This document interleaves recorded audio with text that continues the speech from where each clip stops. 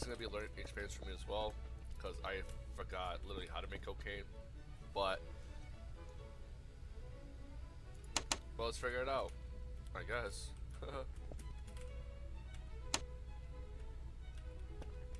There's no bucket attached to it. Okay, so bucket. So this is the extractor.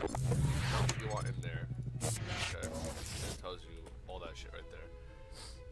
But let's start with the stove.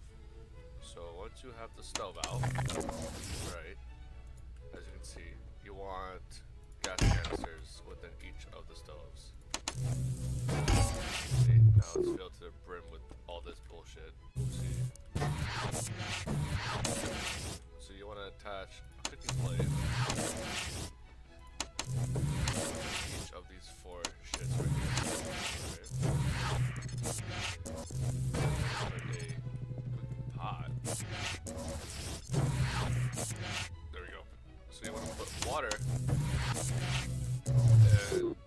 soda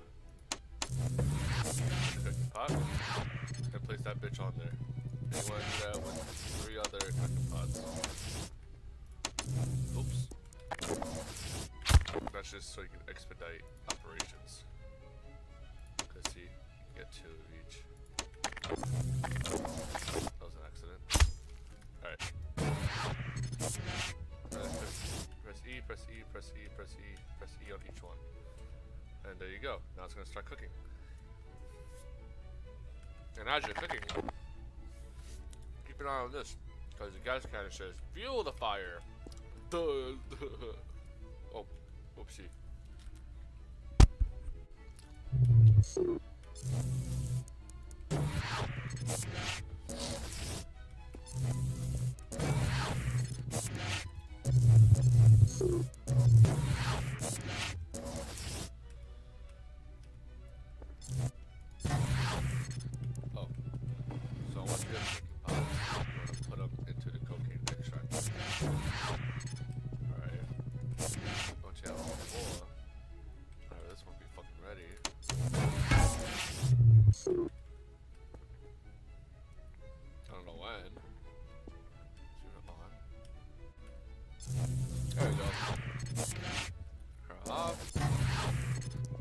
Put it in.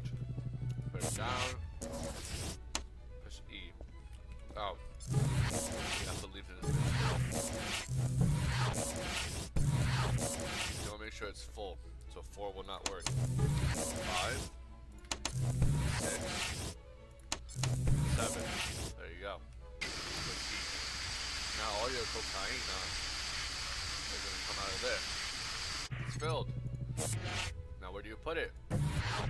The drying rack. Put the bucket back in. Oh, by the way, you need to buy a battery. I didn't show that part. Battery in there. Press E. And now let your cocaine dry up. Monitor the battery levels. As you can see, it's dying. So let's buy another one. You. Oh, you can actually put two in there. Oopsie. Two. There it goes. Put it in the box. Over here. This guy's buying it.